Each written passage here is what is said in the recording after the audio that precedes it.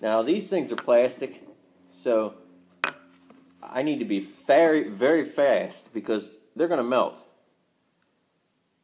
But what I'm going to try to do is get five shots of eggnog.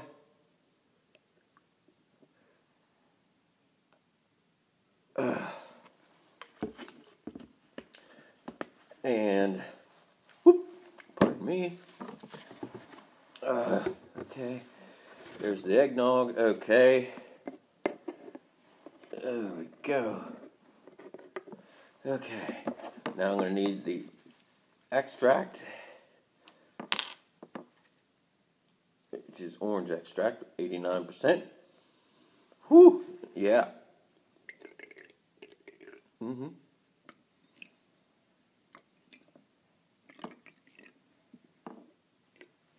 Okay, which all goes to the top,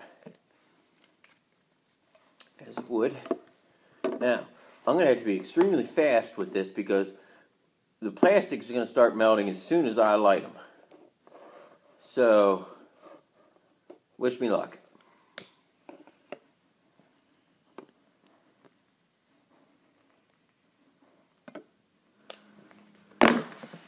One.